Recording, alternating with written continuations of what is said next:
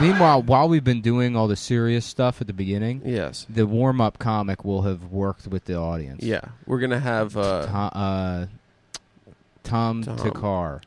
Tom Thakkar. Yeah. Yeah. he'll take the gig. I was He's a gonna, I was gonna he's a say, great comic. I was gonna say a different Tom, but uh, yeah, yeah. I mean, that would be a dream.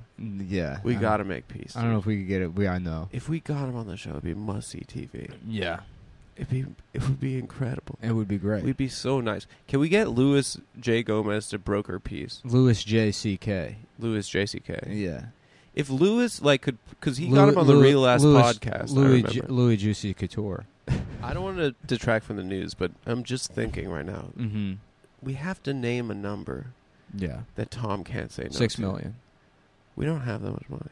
Oh, I thought you just said name a number. No, we I, have w- to be I like didn't realize the Tom. money. Yeah, Tom, twenty thousand dollars. you know he's already declined. Somebody offered him like ten million dollars to do, they didn't have ten million dollars. It has to be a reasonable but Tom doesn't know that.